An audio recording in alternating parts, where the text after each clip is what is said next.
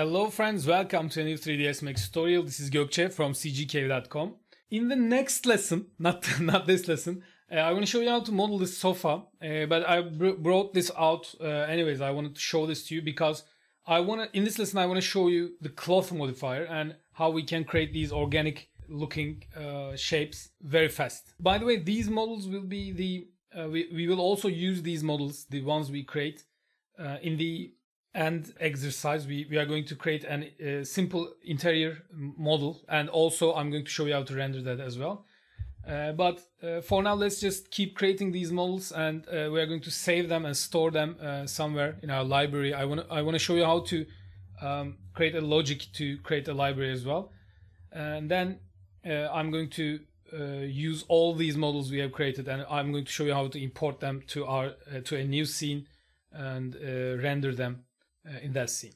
But first, for this in this lesson, let's go over the cloth modifier. So let's start a new uh, Max file. Now, uh, how cloth modifier works is uh, it simulates a cloth uh, with vertices uh, you, are, you are, have created. So uh, the resolution of your mesh, the um, count of your polygons or vertices in your mesh is very important for using a cloth modifier. Hence, the, I wanted to show you, because of that, I wanted to show you uh, the cloth modifier after turbo smooth because turbo smooth is a great way to increase the polygon count, uh, increase the resolution of the mesh uh, in 3ds Max. So let's start with a box. Uh, let's uh, first create a simple pillow. first thing is I want to create a box and then I'm going to increase the segments to 10 by 10 by 3, even 4 maybe.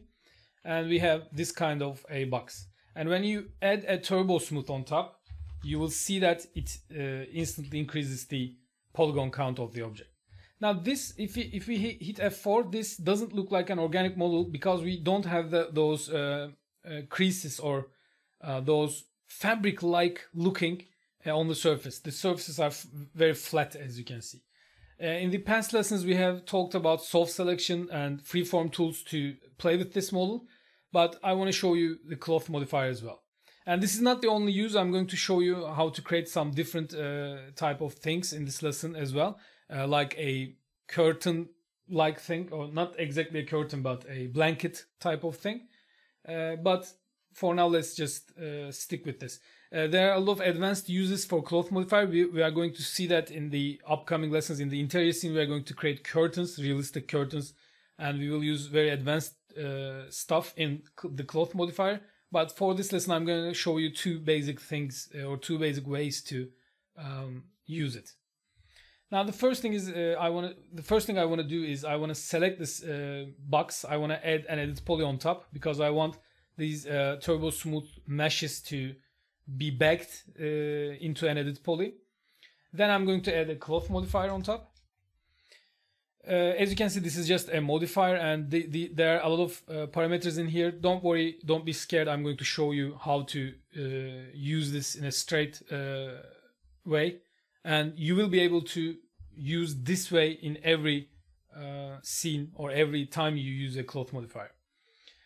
Now, uh, what cloth modifier does is it tries to simulate a cloth with vertices, as I told you. So the resolution is important. Uh, you need to have a dense mesh uh, for to use this. Uh, this is not even a very dense mesh. Uh, uh, you can just increase the turbo smooth and we will see uh, how it behaves when we increase it even more. Now, first thing I want to sh show you is the object properties button. If you click on this, the a whole new panel comes up, pops up. And in here you have the objects uh, you have set as uh, cloth objects or you have uh, applied cloth modifier to.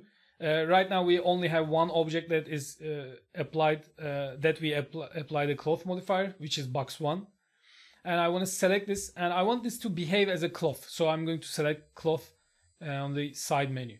Here you can uh, the, again there are a lot of properties but you don't need to play with them. There are presets. Maybe you will be happy with these. Uh, i'm you i usually use these presets. These will help the mesh um, behave in a way that a certain fabric behaves like a cotton for example a cashmere or a silk for example. Let's choose cotton for now. And hit OK.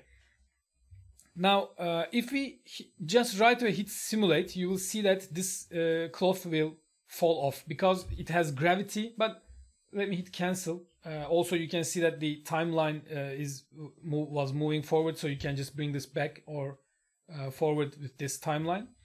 But if you hit Z and zoom into the model, you'll see that it instantly had this cloth-like uh, shape. Okay. Let's uh, erase simulation. That way we can just undo what we did. Right now I don't want any gravity on my model. So uh, it won't fall off, but it will just uh, stay in its place and just have this uh, fabric-like uh, shape. Again, I'm going to right click uh, here. I will disable the gravity. It was minus 980.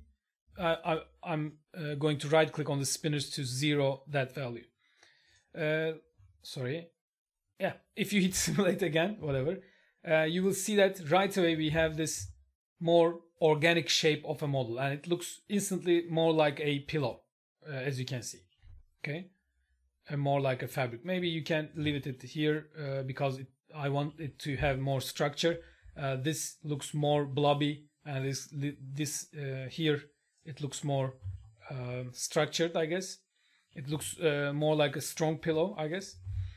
And this is the first method uh, I want to show you. Actually, the uh, sofa I've shown you in the uh, previous example uh, was solely modeled with this. Uh, I, I did some adjustments, of course, but in the cloth modifier, I only use this technique in here.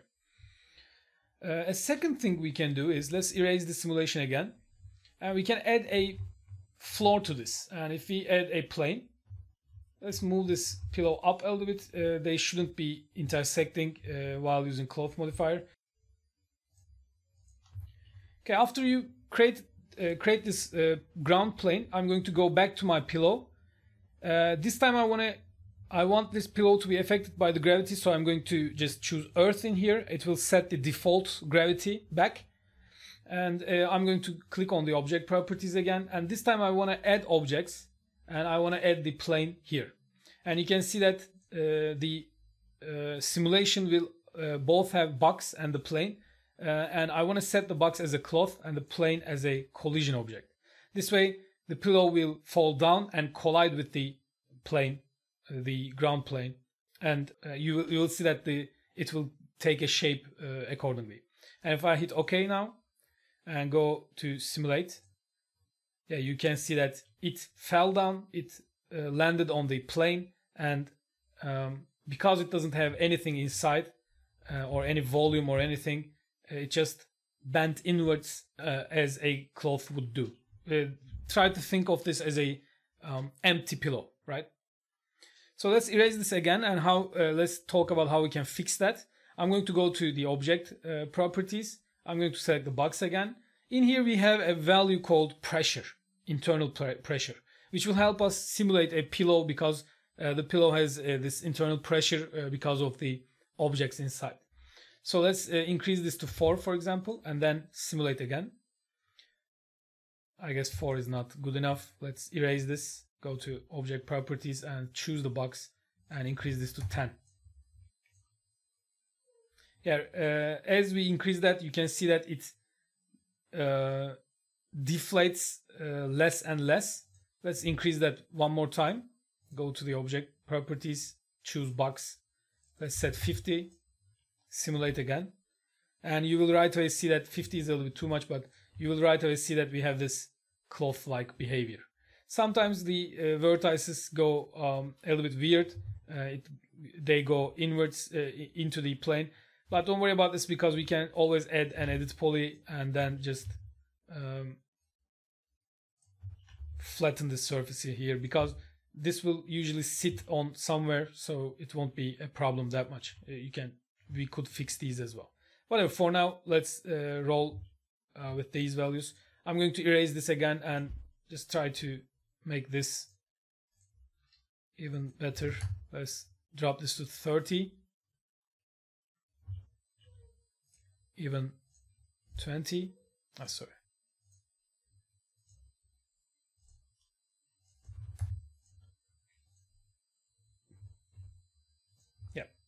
Now th this looks uh, a little bit better in my opinion. Uh, after this, you can add an other edit poly, and then you can go to freeform and play with the end result as well. You can just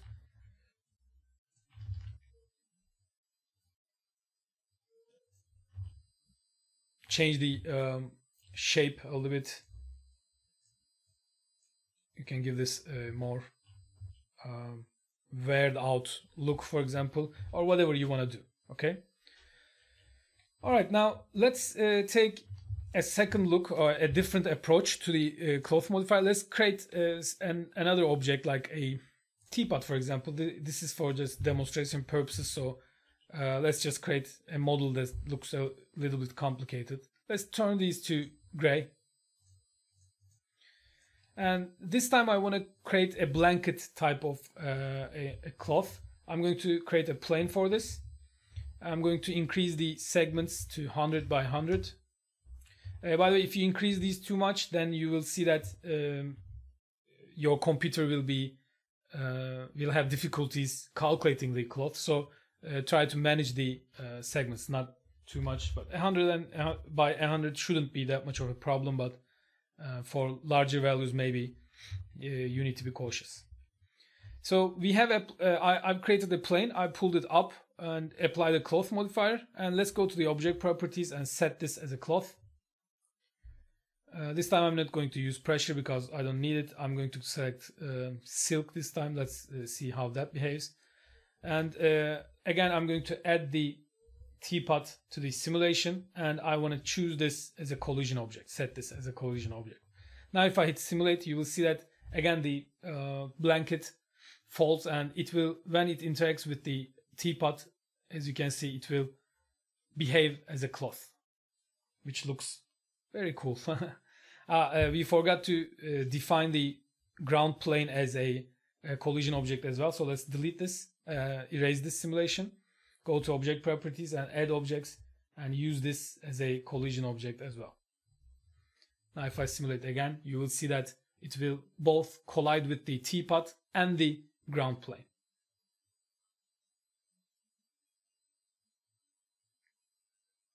As you can see, this is very cool. Uh, we could even uh, throw a blanket on the sofa, I guess, right? With these uh, tools.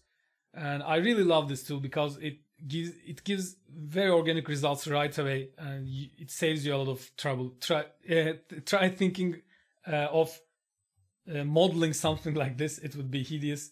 But with this, you can see that right away we have interesting, very interesting results, and they, it looks really cool as well. Okay. If you increase the count, it will be um, it will behave. Uh, let's decrease it and let me show you how that behaves with less meshes and you will uh, understand what I'm saying. I'm going to add a new cloth modifier, add teapot and the plane, uh, set them to be collision objects and plane 2 to be the cloth object. I'm going to hit OK and simulate again. And right here you will see that it behaves much worse because it only bend, it can only bend the mesh uh, from vertices, from edges, from segments. So uh, you need to increase the segments to get better. Okay, this is how cloth modifier works. In the next lesson, let's uh, model the sofa and uh, see this in action. Thanks for listening. I hope this was useful and fun for you. Uh, if this was useful, please hit the like button, hit the subscribe button, hit the notification bell next to the subscribe button. Thanks for listening. See you in the next lesson.